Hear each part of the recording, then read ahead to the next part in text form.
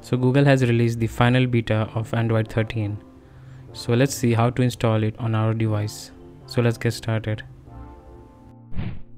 So currently I'm on the Android 12 custom ROM called the Havoc OS and I will be installing the GSI on this one. So we need the treble check app. All the links and instructions will be in the description. So you need to make sure it passes the first two tests. And then we will need the DSU sideloader app which we will use to dual boot. Uh, in the preferences you can choose the installation method. I have chosen the root method. I've already made a video about the wireless ADB and also the computer ADB you can check that out. And you can also set the custom partition.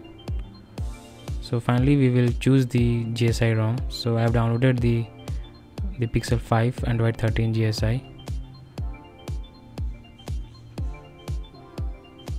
it works for me so you can choose Pixel 6 as well if that if this does not work for you. So now we can start the installation. And as I've said it is the root method but you can also do it by the PC or through a wireless ADB application. And it's going to take a lot of time. And finally we need to authenticate the installation with our fingerprint or password. In the notification you can see the installation progress the installation is also going to take a lot of time. So leave your device aside. And after a while you'll see the option to restart. Restarting will boot our device into the android 13 gsi your device might restart a couple of times but finally we will have this setup screen.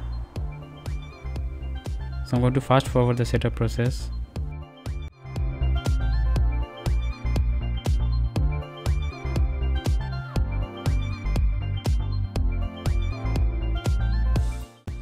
so after the setup you can see the android version it says android 13 and if you move the hour hand on the 1 pm you can see it shows the android 13 easter egg. We've seen it from the last beta as well. Coming to the settings we have the usual uh, similar settings.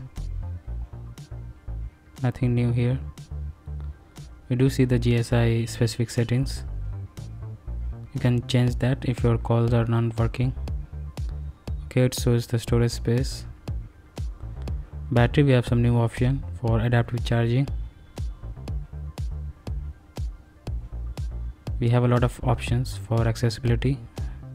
We can dim even more than the lowest brightness.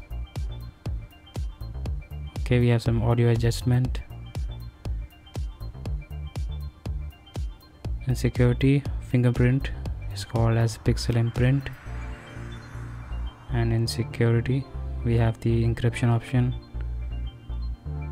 And you can see this says pixel 5 in about phone. Very smooth. And I've also seen Android 13 on the Pixel 6 and Pixel 4a makes it really smooth. So I think Google has done a lot of optimization in Android 13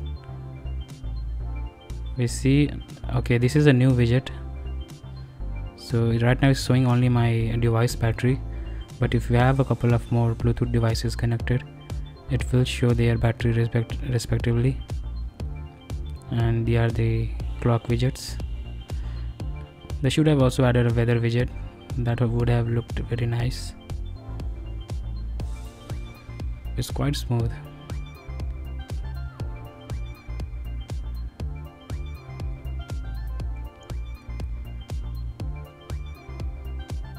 this is the lock screen.